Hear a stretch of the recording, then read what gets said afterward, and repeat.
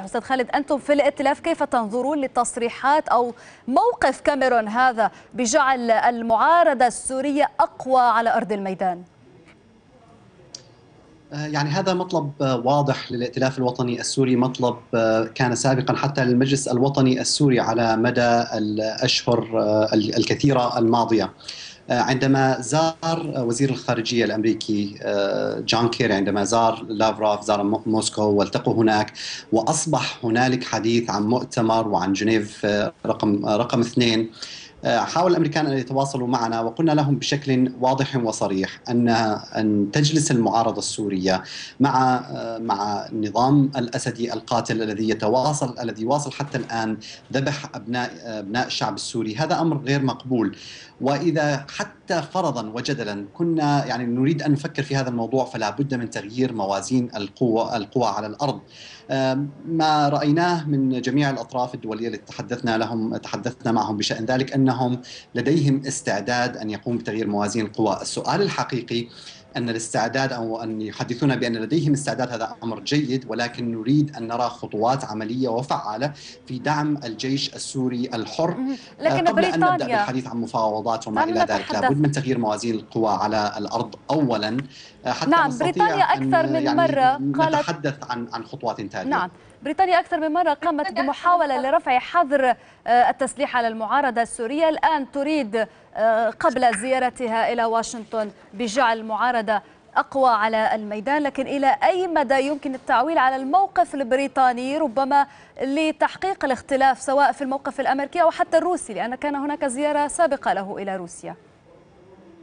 يعني أنا مدرك تماما أن البريطانيين يحاولون أن يبذلوا أقصى جهدهم في ذلك. نحن كنا في زيارة إلى لندن قبل ثلاث أسابيع كان هنالك حديث ونقاش مطول حول رفع حظر السلاح الذي يقوم به الاتحاد الأوروبي ضد المعارضة السورية ضد جميع الأطراف يعني ضد المعارضة السورية وضد نظام بشار الأسد. وقلنا لهم بشكل بشكل صريح أيضا النظام الأسدي وإلى الآن وكما أشرتم في نشرتكم يعني قبل قبل دقيقتين أو ثلاثة ما يزال إلى الآن يستلم دفعات من السلاح من من روسيا ومن إيران.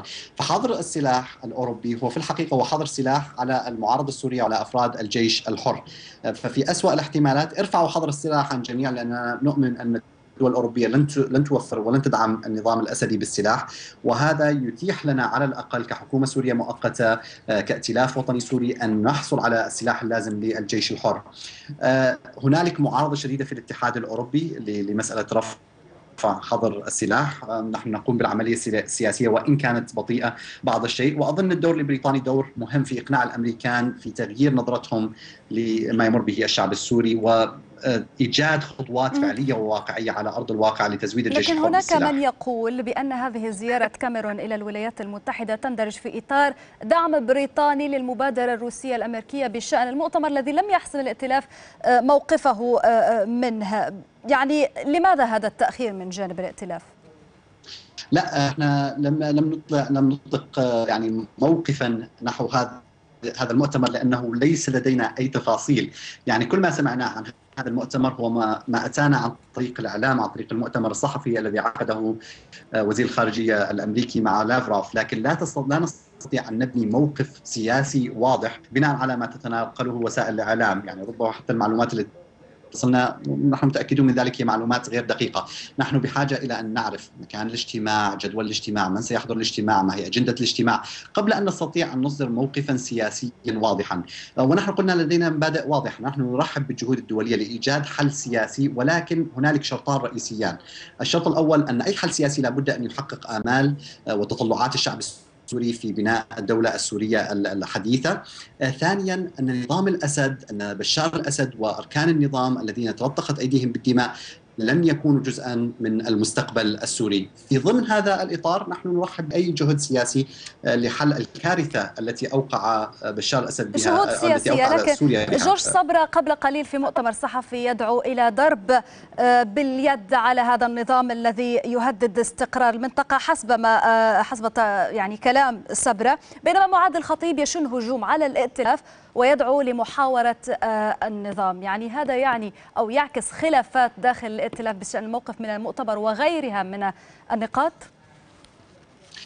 لا لا أظن ذلك. الأستاذ أحمد معاذ الخطيب قاد قاد يعني كان ضمن الهيئة السياسية وضمن مشاورات الهيئة السياسية للائتلاف خلال اليومين الماضيين. والبيان الختامي الذي صدر من الهيئة السياسية أوضح موقف إيجابي بشكل عام من هذه المبادرة ولكن أيضا كما ذكرت يعني ينتظر مزيدا من التفاصيل قبل أن يستطيع أن يعطي حكما نهائيا عليها. موقف الأستاذ جورج صبرة رئيس رئيس الائتلاف بالنيابة أيضا موقف أظن الجميع السوريين يتفقون يتفقون عليه، هذا النظام يرتكب المجازر بشكل يومي ومستمر. مرحلة عدم محاولة النظام لزرع عدم الاستقرار يعني الآن وصلت إلى تركيا في تفجير الريحانية وأصابع الاتهام تشير إلى نظام الأسد، فنحن أيضا مؤمنون بأن أي حل سياسي نرحب به ولكن لا يمكن أن ندع بشار الأسد يتصرف كما يشاء ويرتكب الجرائم كما يشاء داخل سوريا وخارجها. من إسطنبول مدير المكتب الإعلامي للائتلاف الوطني السوري خالد الصالح شكرا جزيلا لك.